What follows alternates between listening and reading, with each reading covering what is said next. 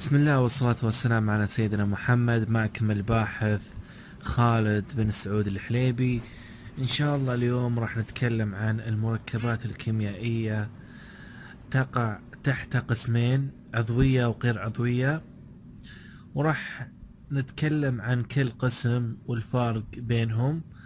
مقارنة بين المركبات العضوية والمركبات الغير العضوية راح نبتدأ في المركبات العضوية.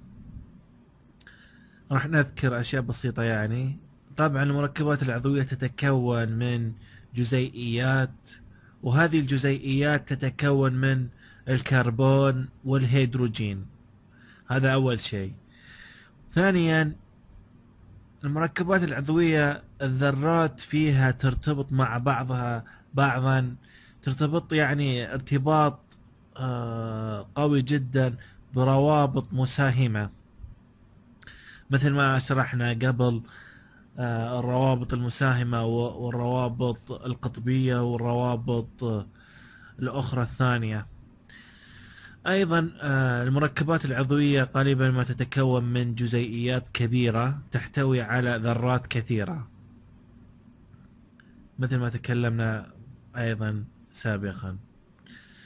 المركبات الغير عضوية غالبا ما تتكون من أيونات ذات شحنات سالبة وأيونات ذات شحنات موجبة. وغالبا ما تتكون المركبات الغير العضوية من ذرات ترتبط ببعضها بروابط أيونية.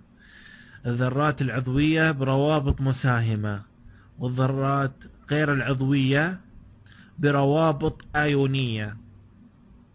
يعني بشكل شحنات.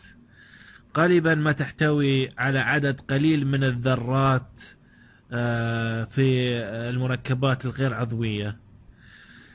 هذا في أقل أكثر آه، الفروقات الموجودة بين القسمين المركبات العضوية والغير العضوية.